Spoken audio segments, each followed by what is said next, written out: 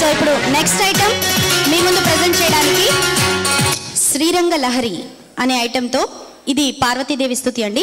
ఇది ప్రజెంట్ చేయడానికి శ్రీలత సూరి గారి స్టూడెంట్స్ వస్తున్నారు. ప్లీజ్ వెల్కమ్ దెమ్ అండ్ కొంచెం గట్టిగా చప్పట్లో.